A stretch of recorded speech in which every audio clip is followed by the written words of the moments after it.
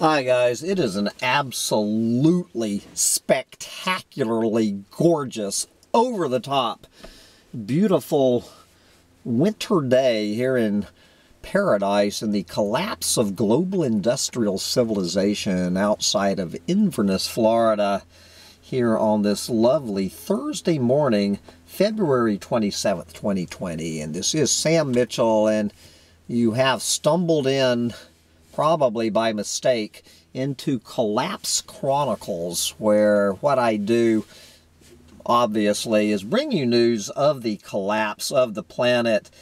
And I uh, need to get ready for my interview. This is going to be a, a weird one. I'm getting ready to interview Sarah Bailey. Uh, Sarah, th this is her title Sarah is the Endangered Species Condom Coordinator for the Center for Biological Diversity. There you go.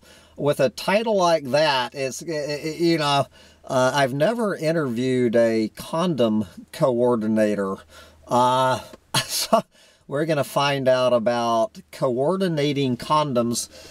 So, uh, what I'm going to do today, I'm going to turn over today's uh, collapse roundup to uh, my lieutenant here in the tribe, Brother Daniel Geery.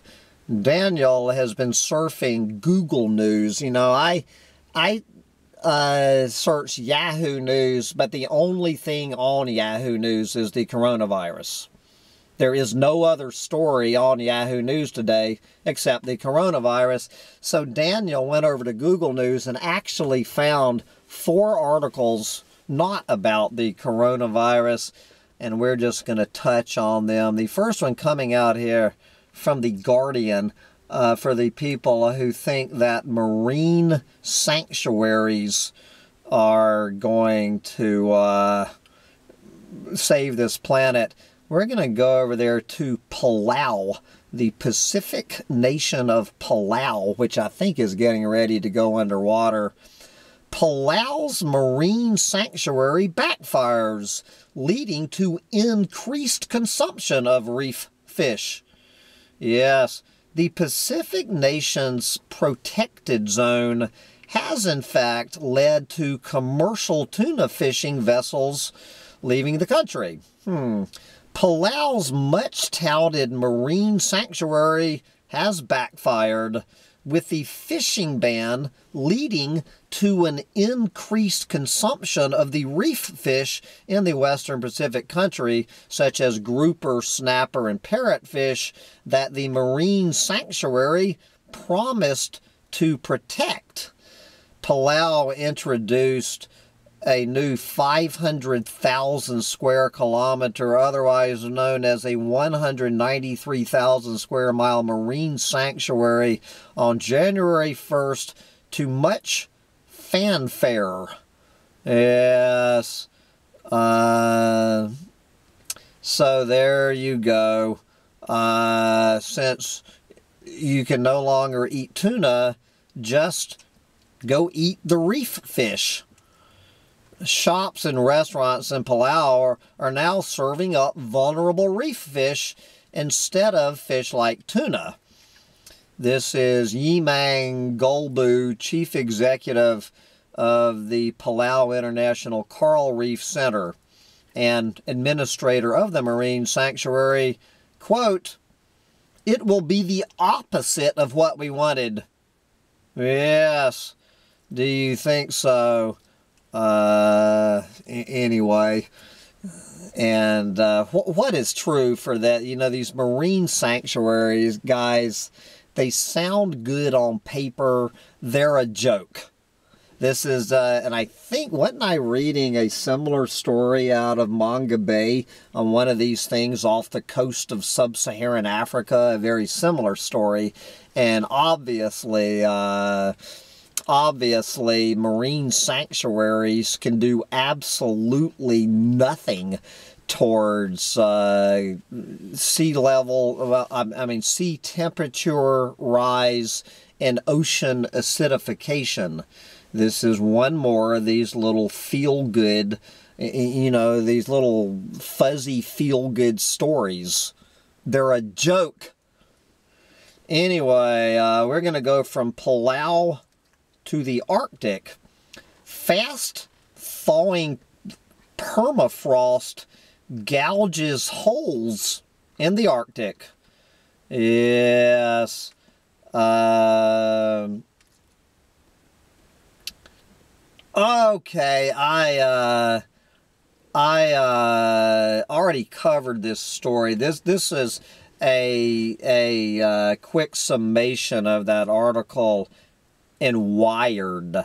Anyway, if you if you missed that video, I'm just going to read the first uh, paragraph because I've already covered this. An article from Wired has an alarming headline that shows the impact of fast thawing permafrost gouging holes in the Arctic. Usually, these terrains of frozen Earth, well, not anymore, fall slowly, usually, but these are unusual times. Landscapes are collapsing in on themselves due to the permafrost thawing faster than ever recorded. Another worry is that when the permafrost thaws, microbes consuming organic matter release CO2 and methane into the atmosphere. This brings about more warming, more thawing, and more carbon.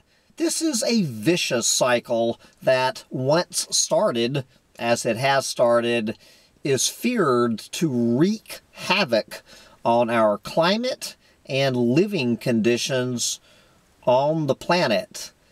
And uh, then they have, uh, they interview this woman, Mer- Merritt Turetsky. Uh, Merritt, uh, she promised to be interviewed. Uh, I was going to interview Merritt uh, on the show. She said, let's do it. And then uh, every time I tried to pin her down, Merritt's kind of slippery, but we're going to try to get Merit on the show to find out more about this melting permafrost. And as long as we're up there uh, in the northern part of a collapsing planet, Geery is, uh, I mean, Daniel has also sent me this article. Researchers find new reason Arctic is warming so fast. The Arctic has experienced the warming effects of global climate change faster than any other region on the planet. And scientists at the Scripps Institution of Oceanography have developed a new theory aided by computer simulations and observations that help explain why this occurs. Okay, uh, we're just going to read the summation of this. A team led by Scripps researcher Emma Beer observed the changes taking place in the Arctic Ocean, which is largely covered by sea ice for most of the year. There, an unusual uh, situation now exists where the water is warm at depth and cold near the surface, the deeper waters are fed by the relatively warm Pacific and Atlantic Oceans, whereas the near surface waters are in contact with sea ice and remain close to the freezing point. Heat flows upward from the warmer water to the colder water. The scientists found that the deeper water is getting still warmer as a result of climate change, but the near surface water below the sea ice remains close to the freezing point. The increasing difference is in temperature leads to a greater upward flow of heat. Uh, the scientists estimate that this phenomenon is now responsible for about 20% of the amplification of global warming that occurs in the Arctic. There you go. The results, this is from the journal Geophysical Research Letters. Another reason that the Arctic is going And we're going to go from the Arctic just to the atmosphere from this outfit Eco Watch. I need to, I, I haven't spent enough time over uh, at Eco Watch. Uh, this is the one that Daniel highlighted. Carbon dioxide levels in the atmosphere hit the highest level in three million years. According to the most recent National Oceanic and Atmospheric Administration report, the last time carbon dioxide levels were this high was 3 million years ago when the global temperature was 2 to 3 degrees Celsius, otherwise known as 3.5 to 5.5 degrees Fahrenheit, higher than during the pre-industrial area, and sea level was 15 to 25 meters, otherwise known as 50 to 80 feet higher than today. Yes. Uh, where are we? Uh, can someone look up and see where the uh, I'm out of the Wi-Fi zone? Where is the where are we today on the register?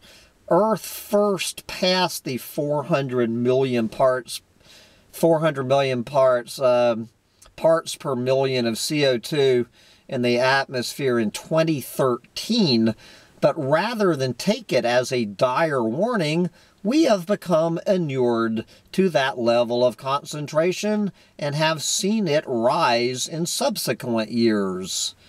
Uh,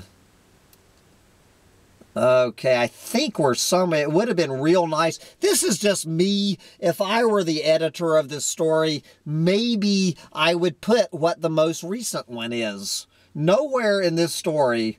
Uh, Okay, here we go. Finally, buried down in the story. In fact, just two weeks ago, on February 10th, uh, NOAA uh, recorded the daily average of CO2 levels as 4 at 416 parts per million. Yes, CO2 concentrations are an effective measure of how many fossil fuels we're burning. Yep, yep, yep. And if you uh, enjoyed that story, how about polar bears are increasingly resorting to cannibalism, scientists say. Uh, and I'm not, I'm, not, I'm just going down, uh, let's see, well, how about bulldozers to tear through the heart of the Sonoran Desert for Trump's border wall? Exactly. We have the bulldozers revving up in the Sonoran Desert.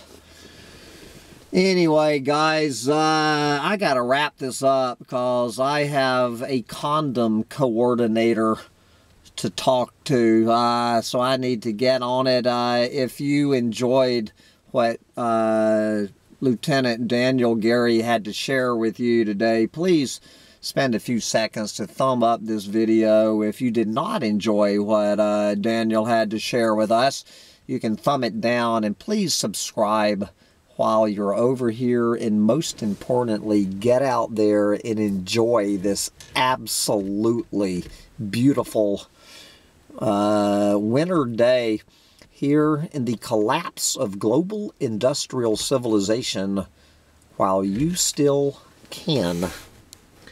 Bye, guys.